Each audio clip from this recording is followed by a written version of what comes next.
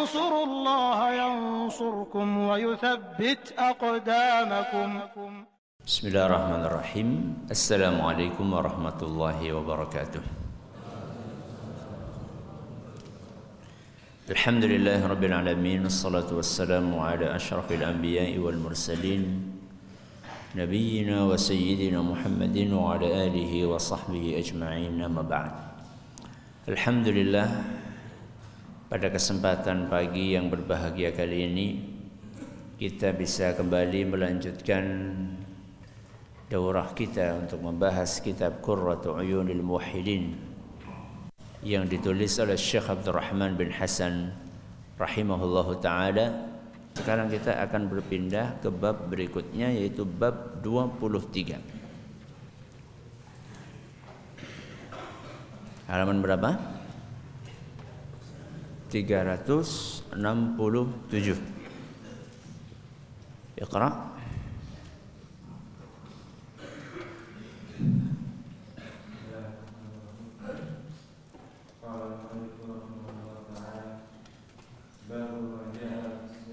Naam.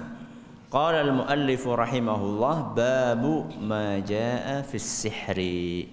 Bab pembahasan tentang sihir. Pembahasan tentang apa? Sihir.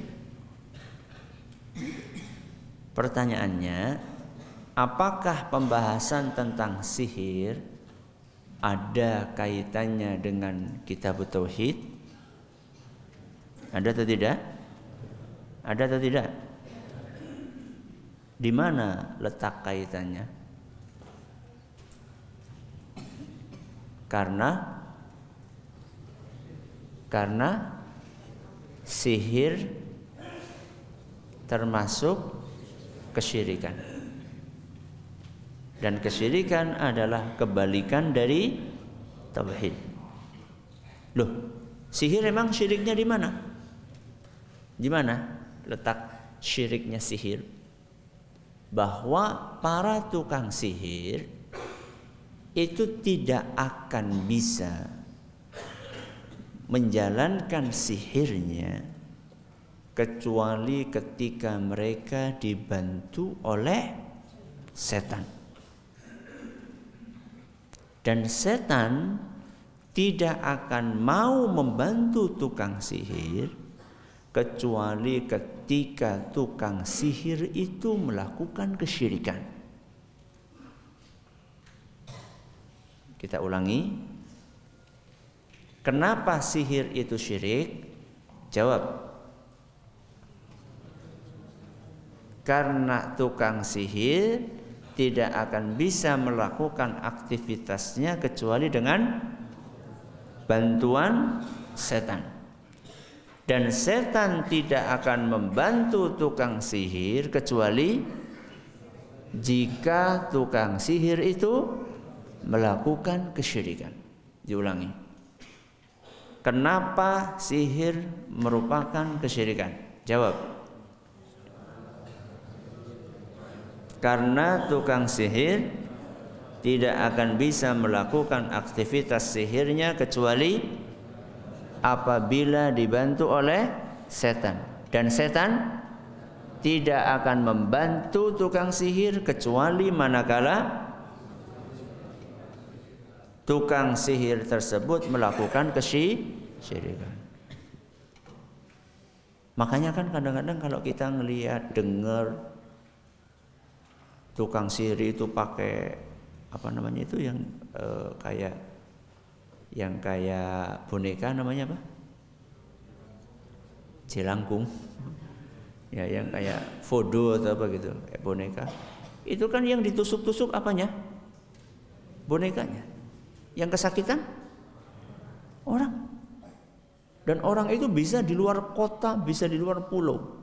Tukang sihirnya misalnya di Sulawesi misalnya, ini cuma misal saja ya. Tukang sihirnya di Sulawesi, sedangkan yang kesakitan di mana? Di mana? Aceh, di Papua. Itu kan jauh sekali. Kok bisa boneka yang ditusuk-tusuk, kemudian yang kesakitan yang jauh berada ribuan kilometer jauh dari tukang sihir tersebut. Kalau ditusuk pas perutnya, maka yang kesakitan juga apanya? Perut. Kalau yang ditusuk pas kepalanya, yang sakit juga kepalanya. Bagaimana bisa melakukan itu kalau tidak dengan bantuan apa? Setan. Dan setan itu bantu gratis? Gratis? Baik banget kalau gratis. Tidak ada makan siang gratis. Ya. Setan itu akan membantu ketika tukang sihir itu melakukan perbuatan yang dilarang oleh Allah Azza wa Jalla dan perbuatan yang paling parah yang dilarang oleh Allah adalah kesyirikan. Makanya semakin tukang sihir itu melakukan perbuatan kufur maka setan akan semakin siap untuk membantu tukang sihir tersebut. Sehingga tukang sihir juga level-levelan apanya?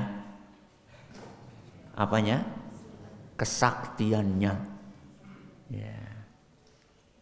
Semakin tinggi tingkat kekufuran yang dia lakukan, maka akan semakin sakti dia dalam tanda kutip. Makanya pernah ada tukang sihir yang mengambil mushaf Al-Quran. Apa? Mushaf Al-Quran. Dua mushaf. Kemudian dia jadikan sebagai sandal. Ditaruh di mana? Di bawah kedua telapak kakinya. Kemudian ditusuk dibikin tali. Untuk apa? untuk sandalan masuk ke kamar mandi, masuk ke WC. Wah, ketika orang itu kan berarti kan levelnya sangat tinggi kekufurannya. Akhirnya setan pun akan siap untuk melakukan apa pun yang diperintahkan oleh tukang sihir tersebut. Sehingga wajar seandainya penulis kitab ini Syekh Muhammad bin Abdul Wahab memasukkan bab maja'a fi sihri dalam kitab At-Tauhid. Baik. Apa definisi dari sihir? Apa definisi dari sihir? Kita akan baca dari uh, apa yang ditulis oleh Syekh Abdul Rahman bin Hasan. Jadi sihir itu ada definisinya nuwatan wastilah secara bahasa dan secara istilah. Kita baca dulu yang nuwatan. As-sihru fil nuwatina. As-sihru عبارة عما خفي ولطف سببه. نعم. السحر في اللغة sihir dalam bahasa ibaratun amma khafiya walau fasadahu sesuatu yang sebabnya tersembunyi sesuatu yang sebabnya tersembunyi dan sulit terdeteksi sesuatu yang sebabnya tersembunyi dan sulit terdeteksi sulit terlacak sebabnya. Jadi ini mencakup banyak hal, mencakup banyak hal. Salah satunya adalah sihir yang tadi kita contohkan untuk membuktikan bahwa yang melakukan kejahatan itu tukang sihir A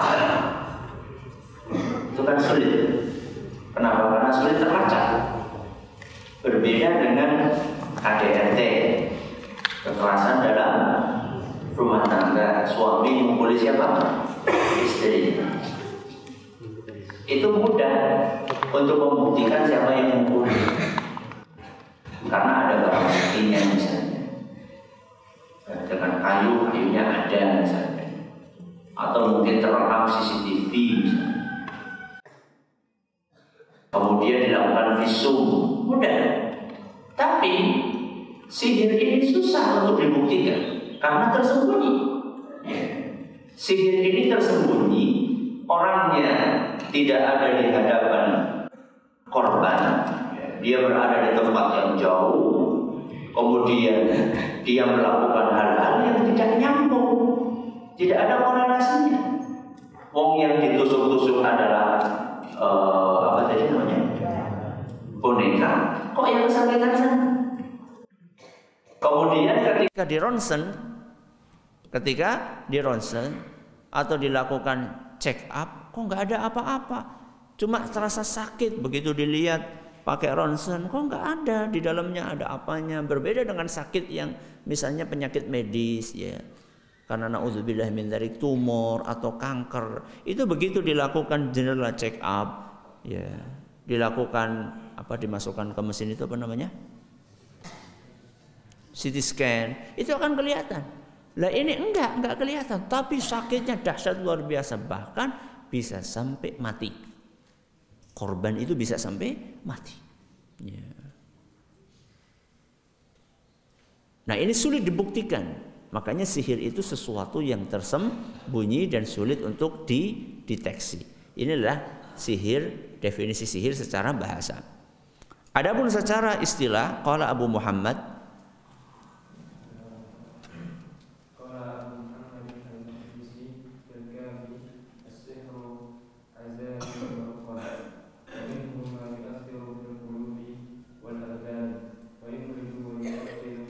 wa yaqtulu Nah, wa qala Abu Muhammad Al-Maqdisi fil Kafi, as-sihru azaimu wa. Sihir itu adalah mantra-mantra. Sihir itu adalah mantra-mantra dan azimat-azimat. Biasanya orang mau nyihir itu bukan sekedar dia ngambil media kemudian ditusuk-tusuk tapi dia juga sambil baca apa? Mantra. Mantra itu isinya apa? Mantra itu isinya apa? Mantra itu isinya sanjungan-sanjungan pujian-pujian kepada setan ya. setan juga suka di puji ya. Nggak cuma manusia.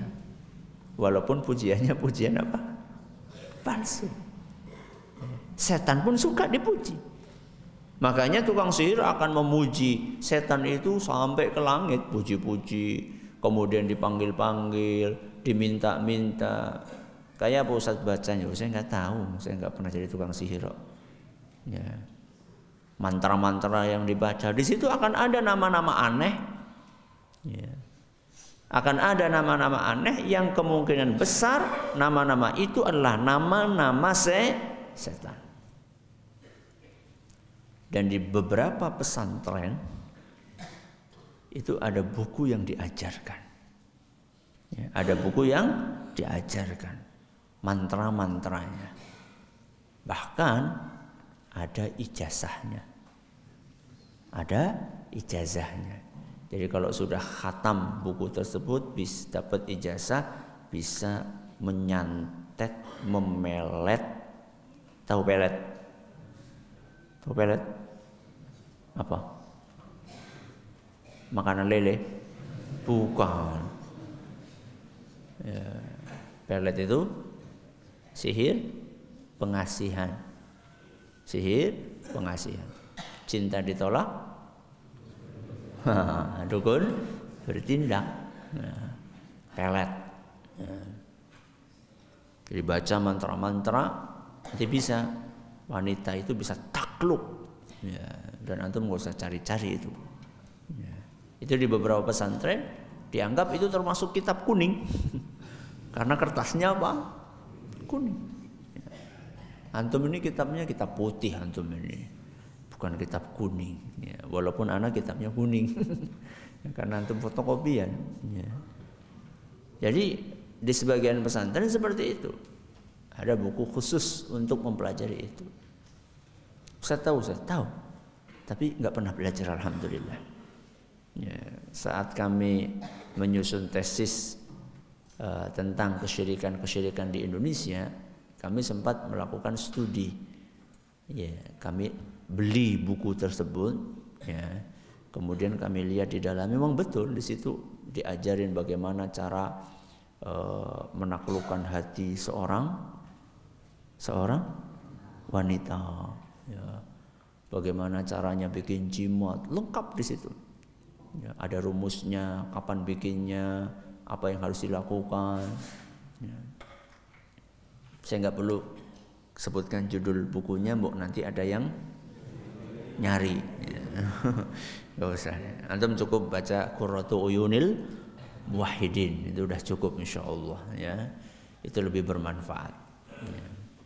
Jadi bacaan-bacaan mantra-mantra yang dibaca oleh tukang sihir. Dan biasanya dalam tukang dalam melakukan sihirnya itu mereka menggunakan media. Menggunakan apa? Media. Medianya bisa tadi foto ya tadi kayak apa namanya tadi?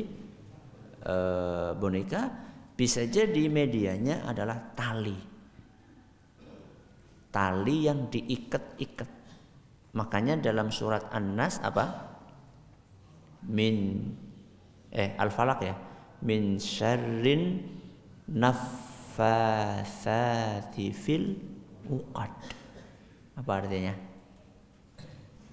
Dari kejahatan wanita-wanita tukang sihir an-naffatsati. Apa artinya? yang menyebul-nyebulkan fil uqat di buhul-buhul. Buhul itu apa? Buhul itu apa?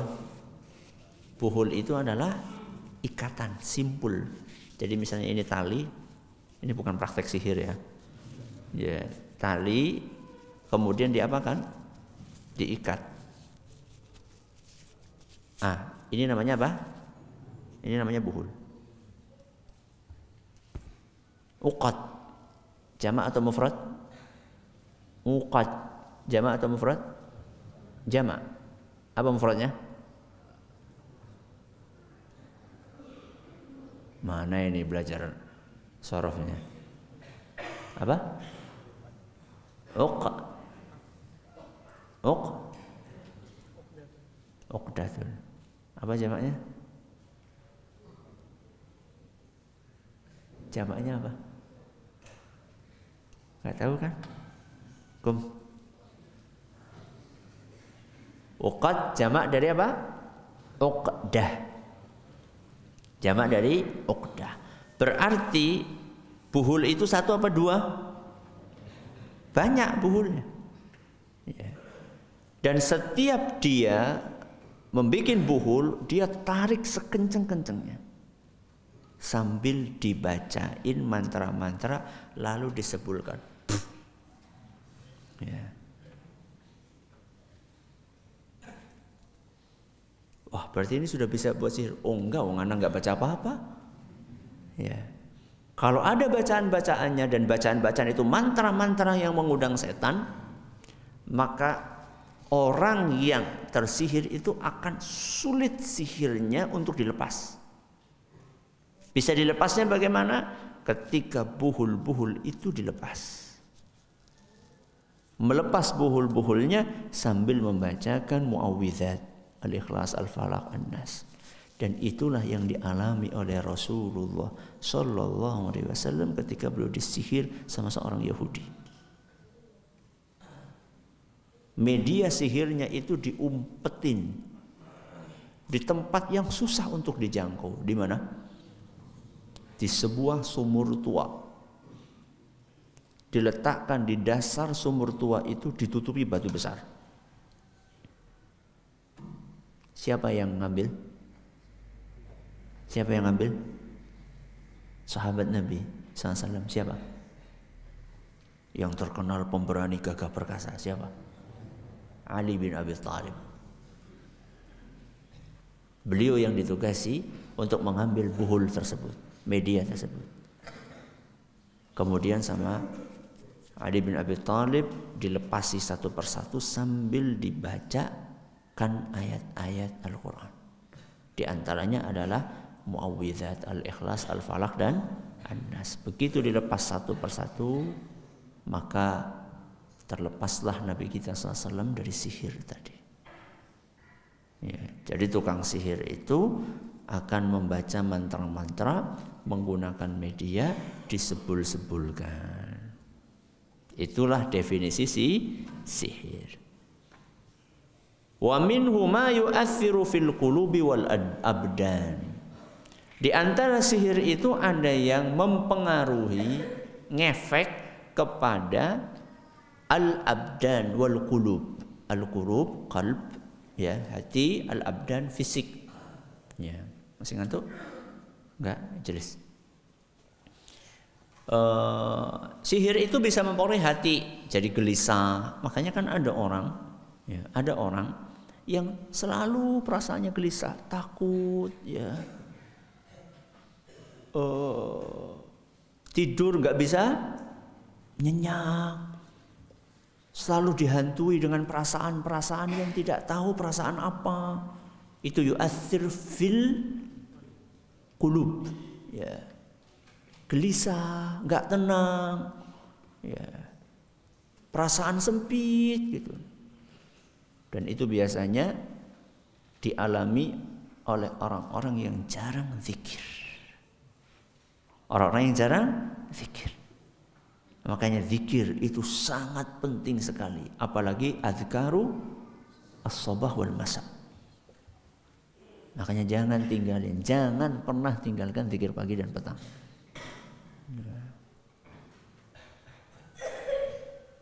Dikisahkan ada uh, seorang ustadz, ada seorang ustadz yang berjuang di sebuah daerah yang banyak tukang sihirnya, yang banyak tukang sihir. Dia berjuang untuk menyebarkan tauhid, memerangi kesyirikan. Dan hampir setiap malam, hampir setiap malam selalu ada api. Bola api yang tertuju ke pesantren ustadz tersebut. Hampir setiap malam. Dan setiap api itu mendekat ke pesantren tersebut, apinya apa? Padam. Ya. Dan itu kejadian bertahun-tahun. Kejadian bertahun-tahun. Sampai lama-lama berkurang, berkurang, berkurang. Akhirnya nggak ada lagi yang ngirim api karena selalu gagal. Ternyata ada di antara yang biasa ngirimi itu tobat. Ya. Ternyata itu adalah sihir yang dikirim untuk mencelakai ustadz tersebut. Dan selalu gagal mereka sampai berkumpul ya berkolaborasi ya, para dukun berkolaborasi para tukang sihir untuk mencelakakan Ustaz dan gagal terus apa kuncinya? Apakah Ustadz itu sati mandraguna otot kawat balung? Wesi Ustadz itu selalu berzikir. Dan tahajudnya dahsyat. Kalau tahajud itu berjam-jam. Sehingga santri-santrinya ikut ter, ikut terbawa dengan ustadznya. Tahajud. Sampai ada tamu yang baru datang ke pondok itu dengar malam-malam pada tahajud ikut tahajud. Dipikir tahajudnya ya paling 10 menit, 15 menit. Ternyata lama tahajudnya sampai pingsan tamunya. Ya orang seperti ini ya susah sihir akan kena dia. Sihir itu kena sama siapa? Sama orang-orang yang subuhannya telat terus. Nah itu siap-siap. Santri kok subuhan telat. Ya. Nggak matching dengan label apanya? Santrinya. Ya.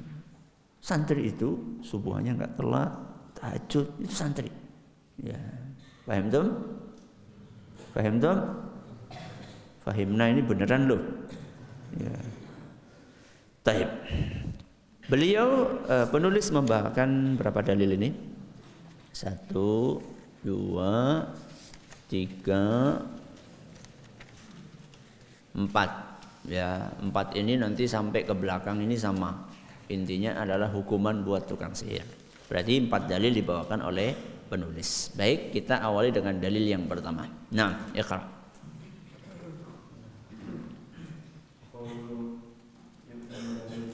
Hmm, walaqad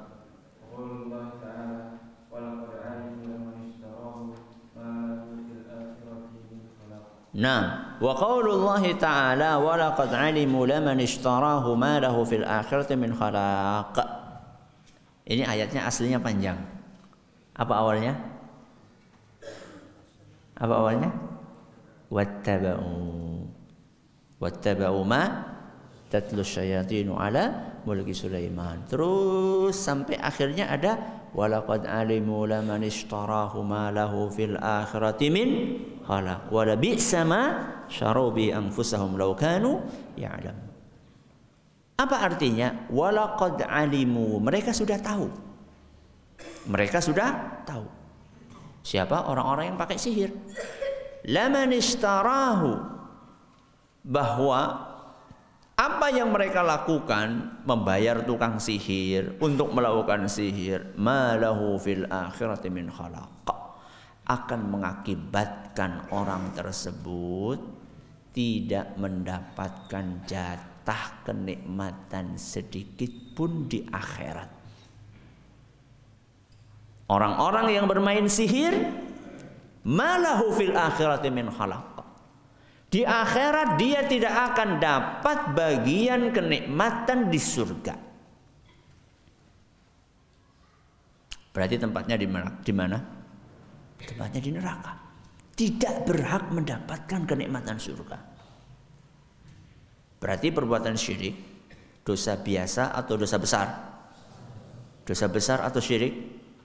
Syirik. Karena yang tidak mendapatkan jatah kenikmatan sama sekali di akhirat tidak dapat jatah kenikmatan untuk mendapatkan kenikmatan surga, tidak dapat jatah sama sekali surga, itulah orang-orang yang tidak memiliki keimanan, yang melakukan kesyirikan. Kalau orang masih punya keimanan, walaupun dia melakukan dosa besar, dia masih ada kesempatan untuk menikmati apa? Surga. Tapi orang ini tidak dapat jatah sedikit pun. Malahu fil akhirati min khalaq. Khalaq artinya nasib. Tidak ada jatah kenikmatan sedikit pun. Berarti orang ini adalah orang yang melakukan kekufuran atau kesyirikan. Maka apa wajul istidlalnya? Uktubu Ayat ini menunjukkan ayat ini menunjukkan bahwa sihir adalah perbuatan kufur. Ayat ini menunjukkan bahwa sihir adalah perbuatan kufur.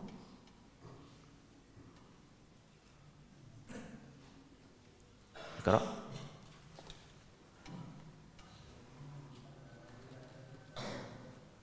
Apa? Ulangi.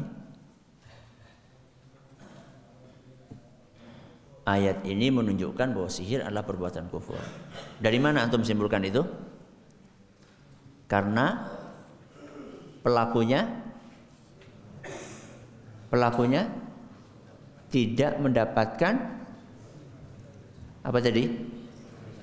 Jatah kenikmatan di surga sama sekali. Berarti dosa yang dia lakukan adalah bukan sembarang dosa, tapi dosa keku kekufuran. Baik. Kita pindah ke dalil berikutnya. Iqra wa qauluhu halaman 368.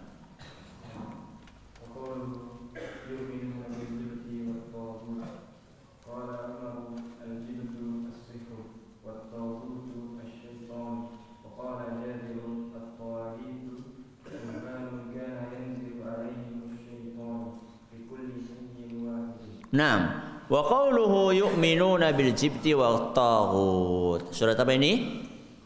Surat apa? An-Nisa ayat 51. Jadi Al-Muallif rahimahullah Syekh Muhammad bin Abdul Wahab salah satu ciri khas beliau dalam buku ini dalam kitab tauhid ini adalah membawakan ayat berikut penafsirannya. Dan penafsirannya bukan penafsiran dari kantong beliau sendiri. Ya.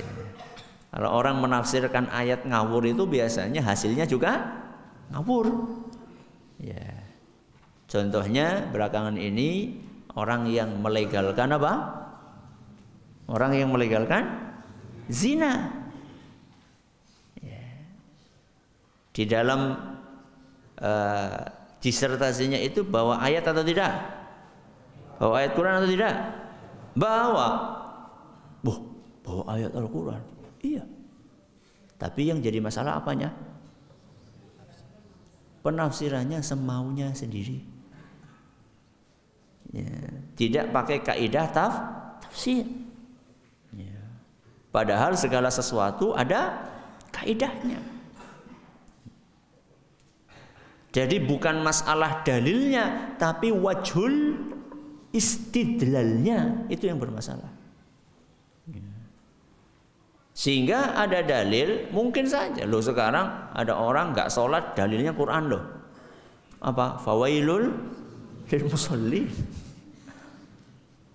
Celakalah orang yang sholat. Loh ngapain sholat? Sudah sholat kok celaka. Coba bayangkan orang nggak sholat dalilnya apa? Ayat Quran. Berarti yang bermasalah bukan ayatnya tapi wajul istidlalnya, peletakkan dalilnya yang bermasalah. Ngawur dalam meletakkan dalil, memahami dalil. Nah, Syekh Muhammad bin Abdul Wahab nyontohkan kepada kita bagaimana seharusnya ayat Al-Quran ditafsirkan. Beliau bawakan penafsiran dari ayat yang lain, dari hadis Rasul SAW, dari perkataan sahabat tabi'in. Ya. Makanya kita butuh susah untuk dibantah. Kenapa? Karena isinya Al-Quran, hadis, penafsiran dari para sahabat, para tabi'in. Susah dibantah. Isinya cuma itu saja. Ya.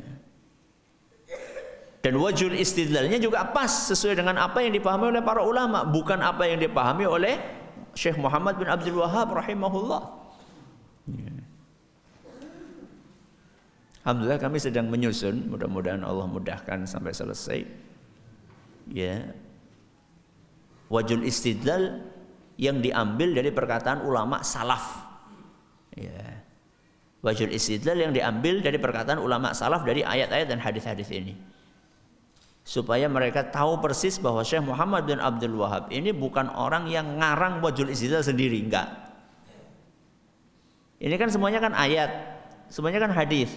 Ayat itu kan ada buku tafsirnya tidak? Ada tafsirnya, tafsir salaf ada. Ya. Hadis ada syarahnya atau tidak? Ada syarah. Kita kembalikan kepada syarahnya para ulama yang hidup jauh sebelum zamannya Syekh Muhammad bin Wahab. Dan ternyata apa yang dibawakan oleh Syekh Muhammad bin Abdul Wahab itu tidak beda jauh dengan apa yang dibawakan oleh para ulama dahulu.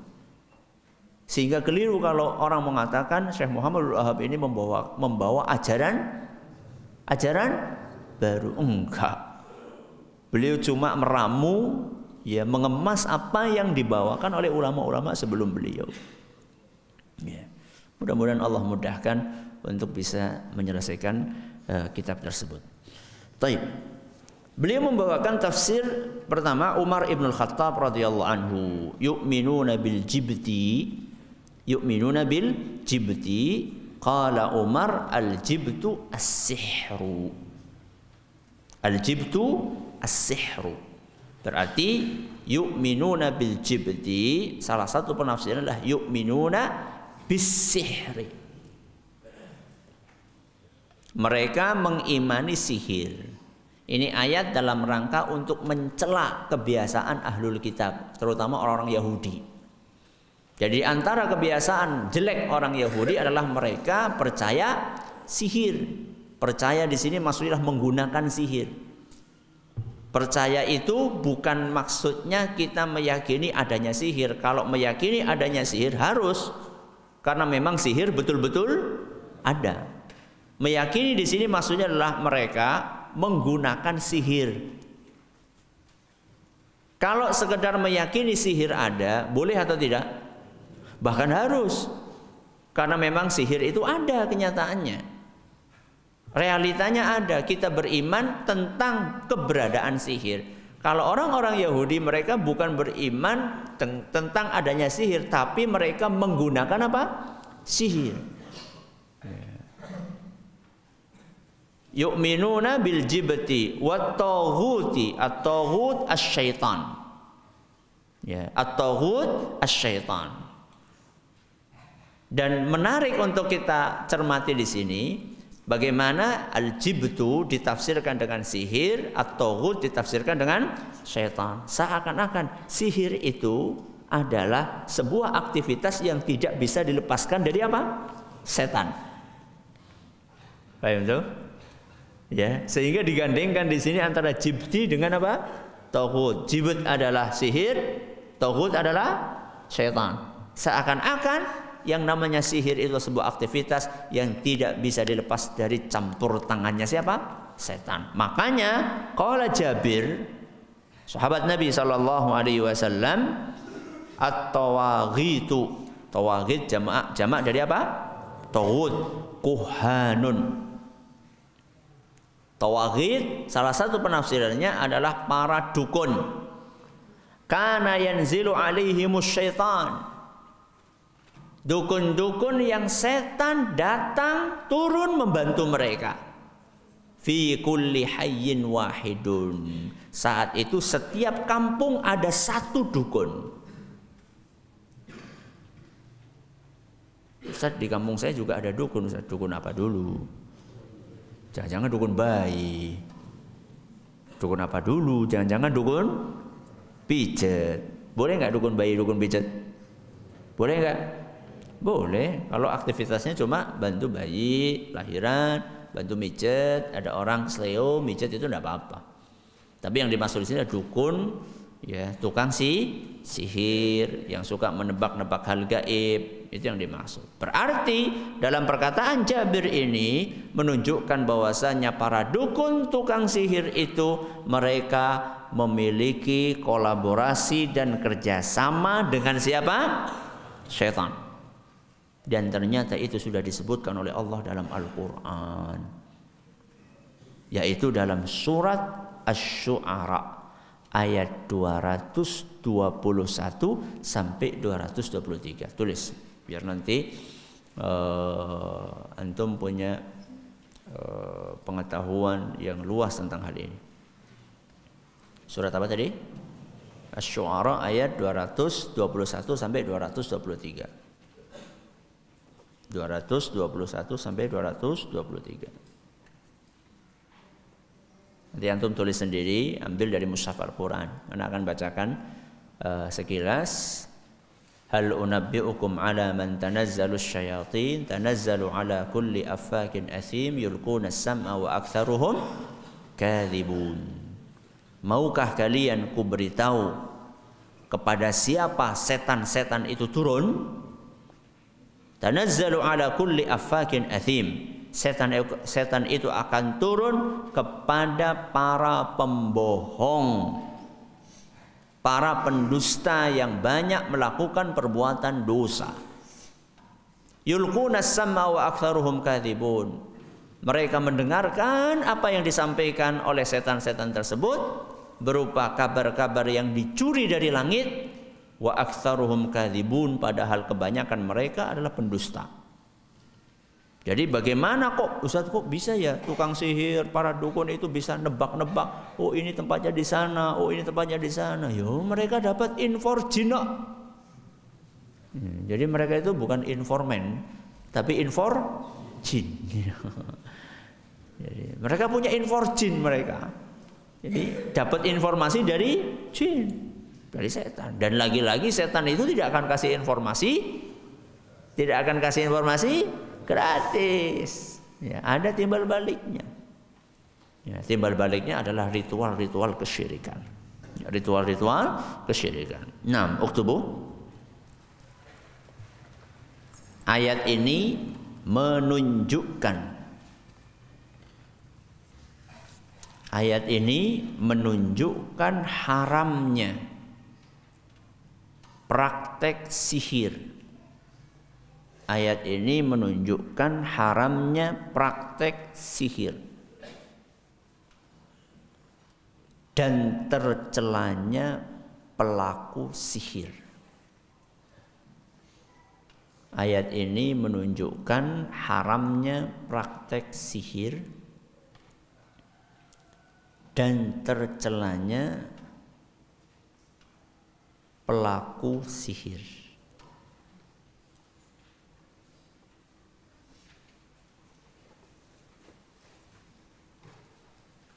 Ikra.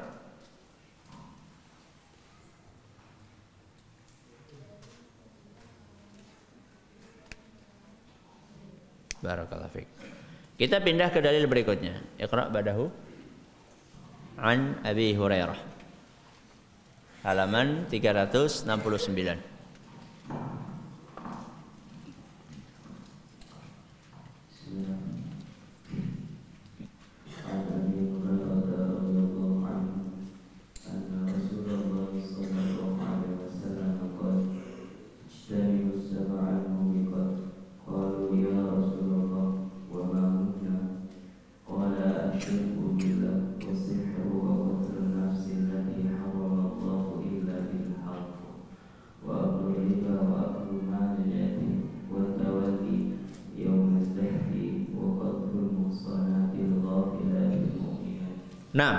dalil yang ketiga adalah hadis Abu Hurairah radhiyallahu anhu anna Rasulullah SAW qala ijtanibus sab'al mubiqat. Jauhilah tujuh dosa yang membinasakan.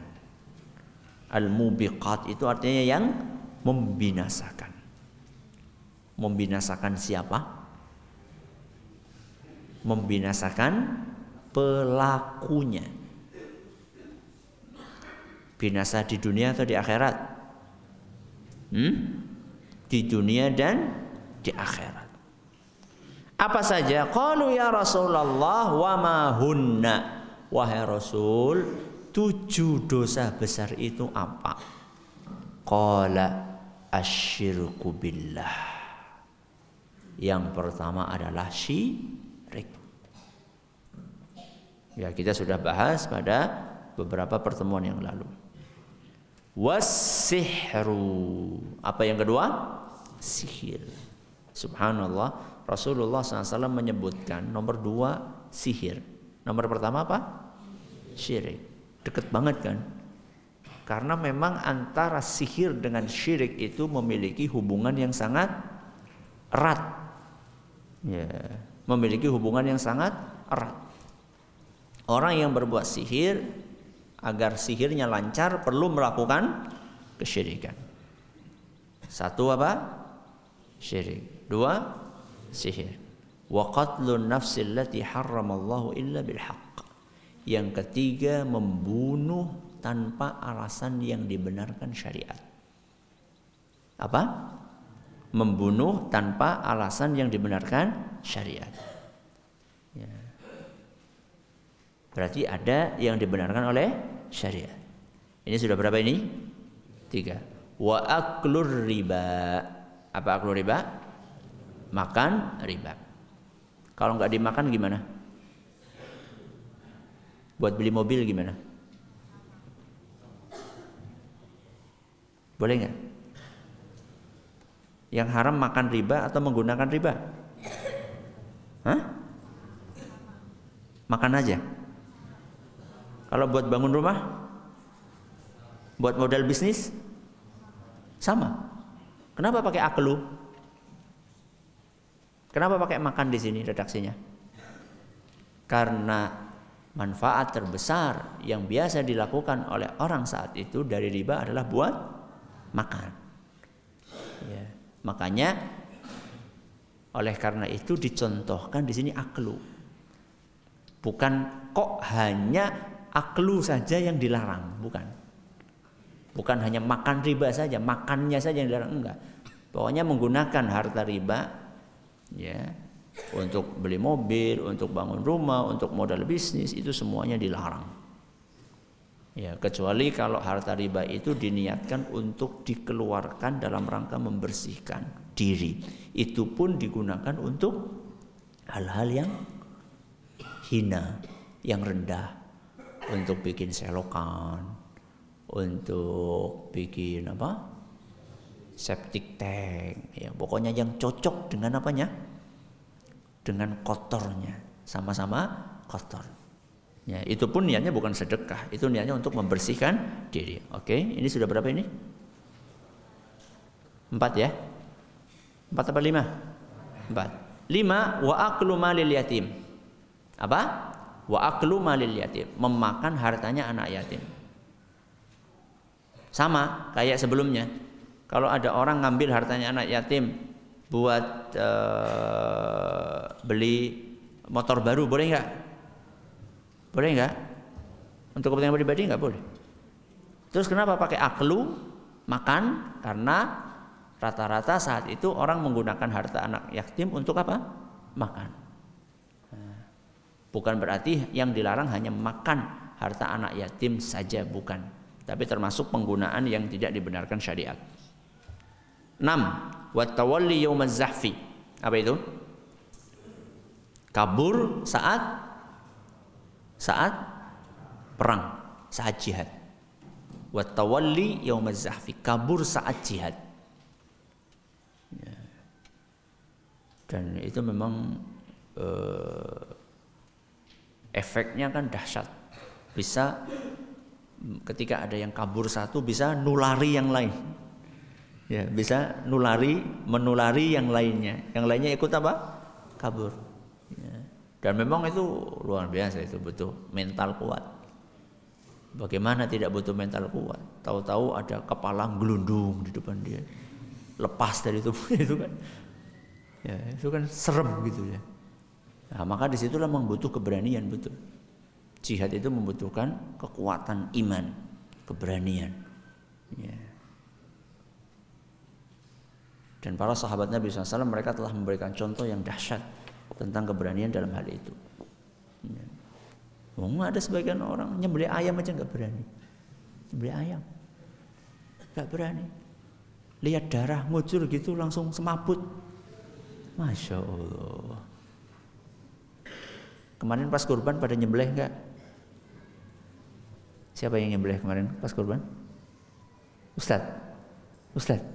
Nah, anak usul ini santri yang selalu nyembelih ya santri yang selalu nyembelih aduh gimana Ustaz gimana Ustaz besok kurban anak pulang aja Ustaz latihan antum nanti kalau pulang antum tamatan pesantren dianggap sudah bisa nyembelih gimana pulang? Antum gak bisa nyembelih. Ya. Udahlah anak tak nyekeli buntut teh Ya Allah, santri terima nonya keli buntut ya. Latihan. Ya tentu yang senior senior, ya. Jangan yang masih kecil-kecil, ya yang besar-besar latihan. Anak di di mana? Di tunas ilmu, anak gilir itu, digilir. Ya ada yang uh, nyembelih sambil kayak gini, ya, pokoknya harus, ya, harus. Ya. Ada yang gemeteran gitu ya. Enggak apa-apa. Tapi ada briefingnya dulu. Ada apa? Briefingnya dulu. Jadi ada briefing malamnya ya itu ada briefingnya dulu tekniknya menyembelih bagaimana. Terus praktek datang ke kambingnya. Ini kambing yang kamu akan sembelih. Ayo kenalan dulu ya, ini besok kamu mau nyembelih kambing ini. Latihan merubuhkan dulu. Sehingga nggak ujuk-ujuk langsung uh, terjun bebas tanpa modal. Enggak mau ini kambingnya orang kok. Ya. sembarangan ya enggak dikasih pelatihan dulu nyembelih dulu. Ya kalau perlu uh, pelatihan dulu. Dimulai dari nyembelih uh, apa namanya? Ayam dulu. Ya. jadi kalau pas lagi uh, waktunya jadwal masak itu beli ayamnya jangan yang sudah apa jangan yang sudah mati beli ayam yang masih hidup nanti latihan nyembelih ayam tuh nyembelih ayam aja nggak berani gimana nyembelih kambing apalagi nyembelih sapi hmm, gimana Ya. Melatih men mental. Ya. Ini yang keberapa ini? Yang keenam. Yang ketujuh yang terakhir wa qadhful muhsanatil ghafilatil mu'minat. Qadhfu itu adalah menuduh. Menuduh apa? Menuduh zina. Siapa yang dituduh al-muhsanat, al-ghafilat, al-mu'minat. Wanita mukminah yang terhormat. Wah, itu dosa besar. Wong wanita baik-baik, terhormat, mukmin, kok dituduh berzina? Makanya orang yang menuduh itu dia akan binasa di dunia dan di akhirat. Ini tujuh dosa besar. Salah satunya adalah sihir. Uktubu Hadis ini menunjukkan hadis ini menunjukkan bahwa sihir termasuk dosa besar yang membinasakan pelakunya. Hadis ini menunjukkan bahwa sihir termasuk dosa besar yang membinasakan pelakunya di dunia dan akhirat. Di dunia dan akhirat. Saya ulangi. Hadis ini menunjukkan bahwa sihir termasuk dosa besar yang membinasakan pelakunya di dunia dan akhirat. Iqra.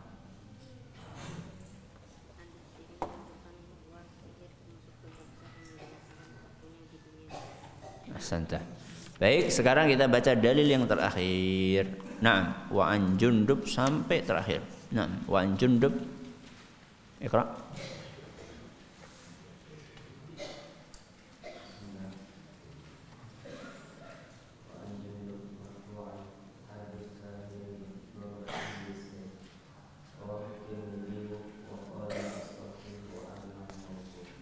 Terus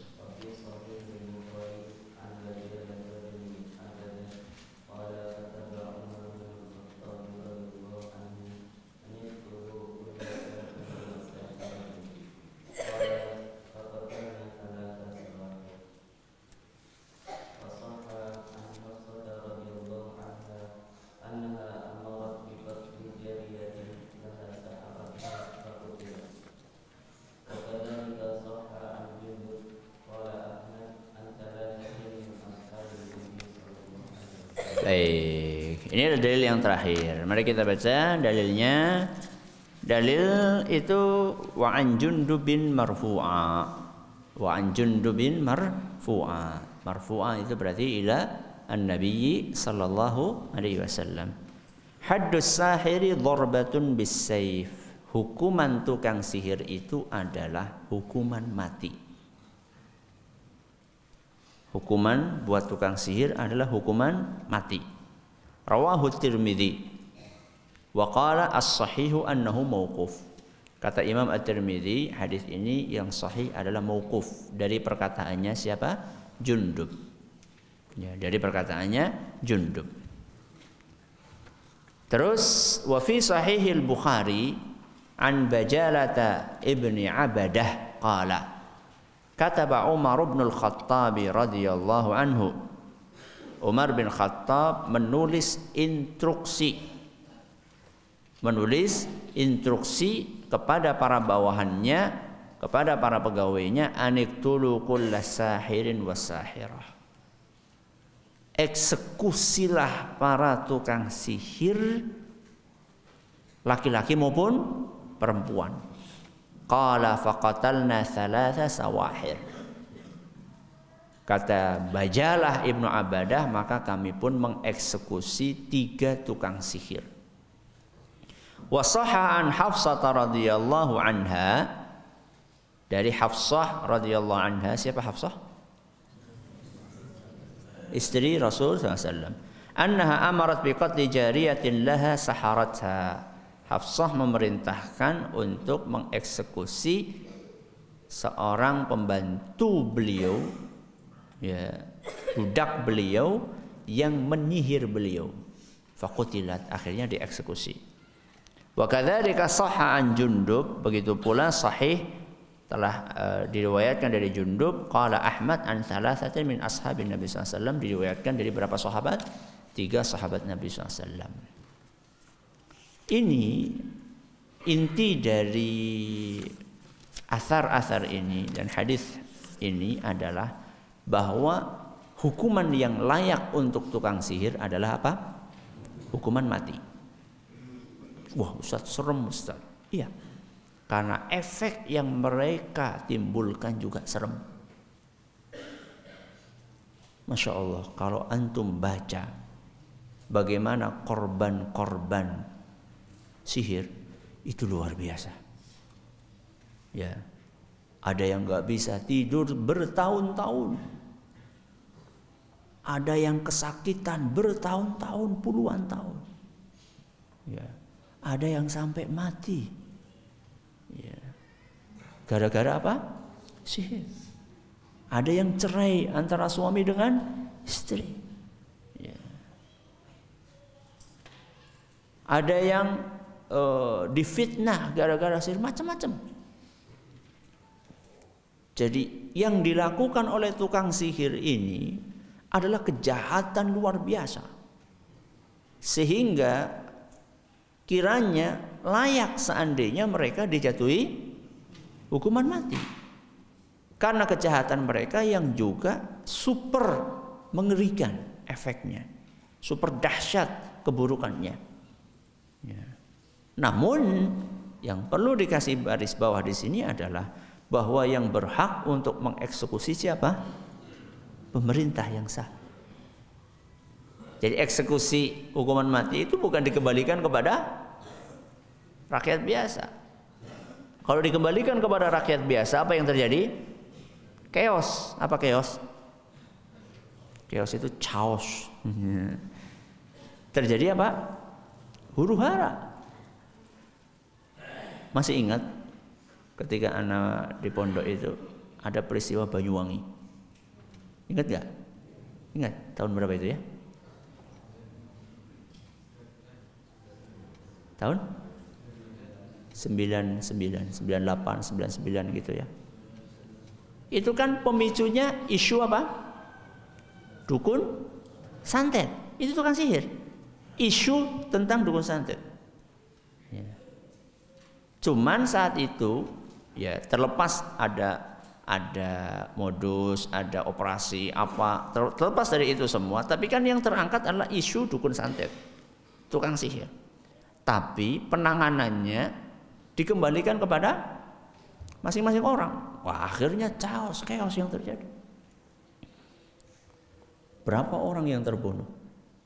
Dan yang terbunuh itu ternyata tidak sedikit bukan hanya apa? Tukang sihir, guru ngaji, guru TPQ. Di masa-masa seperti itu, fitnah seperti itu kan mudah sekali untuk menyulut menyulut emosi. Hanya sekedar ada isu dikit. Oh, saya disantet sama Anu. Langsung itu warga gembruduk. Digeruduk itu rumahnya orang yang tertuduh tersebut. Padahal dia cuma guru ngaji guru TPG. Dia mau bilang saya enggak, saya enggak. Kalau orang sudah emosi bilang enggak malah malah tambah beringas. Oh enggak banyak ngomong pok pok pok pok. Akhirnya terjadilah banyak orang mati. Saat itu padahal dia bukan tukang sihir. Ya. Maka walaupun uh, di dalam hadis-hadis ini menunjukkan bahwa tukang sihir itu hukumannya adalah hukuman mati, tapi yang berhak mengeksekusi bukan sembarang orang. Yang berhak mengeksekusi adalah pemerintah yang sah. Uktubu.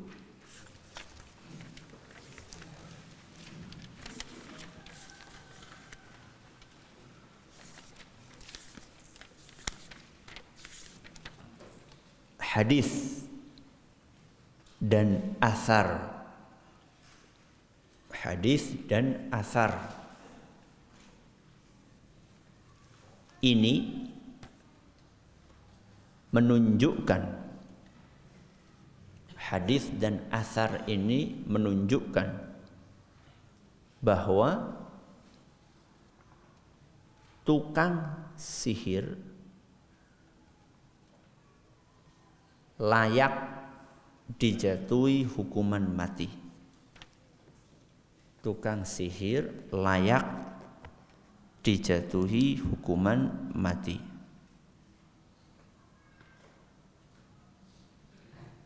Dan yang berhak mengeksekusi dan yang berhak mengeksekusinya adalah pemerintah yang sah dan yang berhak mengeksekusinya adalah pemerintah yang sah. Saya ulangi dari awal. Hadis dan asar ini menunjukkan bahwa tukang sihir layak dijatuhi hukuman mati dan yang berhak mengeksekusinya adalah pemerintah yang sah. Iqra.